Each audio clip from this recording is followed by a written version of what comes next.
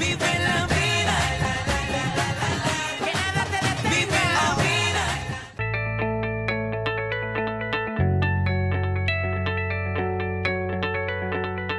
La posibilidad de ofrecer paquetes turísticos donde el atractivo principal es la opción de conseguir la vacuna contra el COVID-19 puede convertirse en un producto codiciado para muchas personas, pero al alcance de pocos.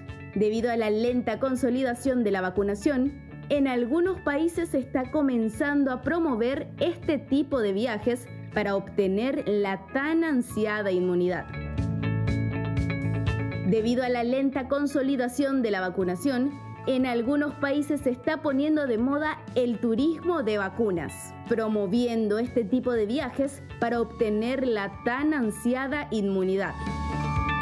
En diciembre, una agencia de viajes en India impulsó el primer paquete de vacuna COVID-19, que consistía en un viaje de cuatro días desde Bombay a Nueva York con una vacuna contra el coronavirus incluida, por alrededor de 2.000 dólares para cualquier ciudadano indio con visado estadounidense. En Florida, las personas que se iban a vacunar no tenían que verificar su estado de residencia antes de recibirla y se produjo una llegada importante de personas desde otros países como Argentina, Brasil y Canadá para poder vacunarse. En enero, el gobierno se vio obligado a cambiar sus reglas de vacunación para evitar que los no residentes invadieran el destino en busca de vacunas.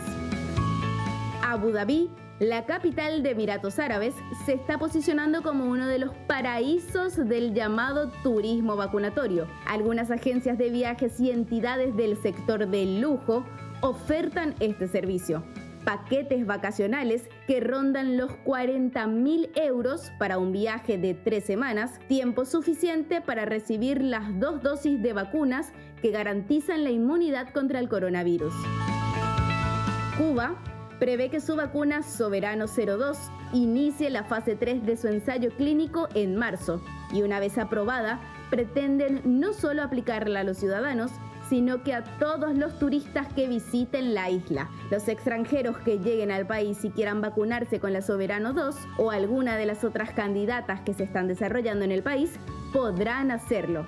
Lo que preocupa es el hecho de que personas con un alto nivel adquisitivo se puedan estar beneficiando de su dinero para poder vacunarse antes que otros que pertenecen a grupos de riesgo.